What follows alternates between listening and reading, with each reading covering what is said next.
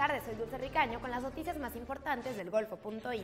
El presidente Enrique Peña Nieto anunció la próxima ampliación y modernización del aeropuerto de Lencero, un proyecto en el que la Secretaría de Comunicaciones y Transportes invertirá junto con el gobierno del Estado cerca de mil millones de pesos.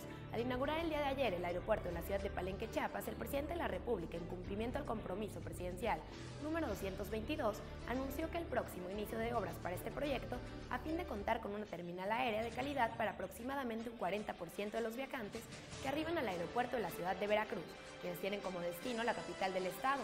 Por otro lado, después de que el mes pasado la portada de la revista Time fuera el Papa Francisco, ahora el espacio lo utiliza la imagen del presidente de la República.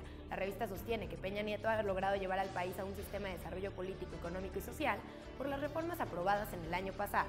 El número de la revista saldrá el próximo 24 de febrero. Tras el anuncio que realizó el presidente de la República, Enrique Peña Nieto, sobre la ampliación del aeropuerto del Lencero, el alcalde jalapeño, Américo Zúñiga Martínez, aseguró que con esta inversión significará más oportunidades de desarrollo. A través de su cuenta oficial de la red social Twitter, el edil capitalino escribió, aplaude el anuncio del presidente Enrique Peña Nieto, Calapa contará con un mejor aeropuerto que significará más oportunidades de desarrollo. Esta mañana Zúñiga Martínez realizó la instalación de la mesa de análisis de iniciativa de ciudades emergentes y sostenibles.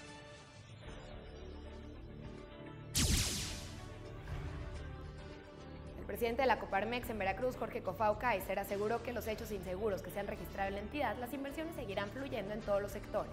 La rehabilitación del centro histórico, la ampliación portuaria y en el norte, la conclusión de la carretera México-Tuxpan, coadyuvarán a detonar aún más el desarrollo del Estado. Indicó que el repunte de la economía en este año será difícil, por lo que estiman un incremento de los índices hasta el segundo semestre.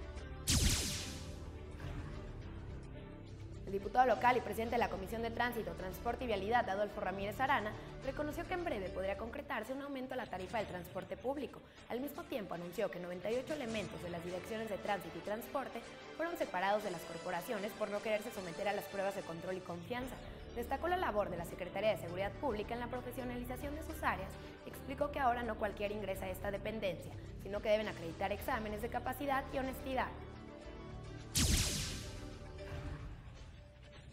La masa de aire frío comenzará a modificar sus características térmicas sobre el Golfo de México, disminuyendo con esto los nublados y el potencial de lluvias.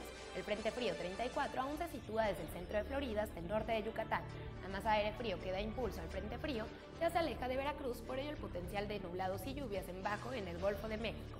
Se prevé prevalezca el ambiente de, frío a muy frío, principalmente en la zona montañosa de Veracruz. Se prevén nublados para el sur de Veracruz el día de hoy. El viento se mantendrá débil desde el centro al sur de Veracruz con velocidades de 20 a 30 kilómetros por hora. Les recuerdo que estas y más noticias las pueden encontrar en nuestro portal www.elgolfo.info. Buenas tardes.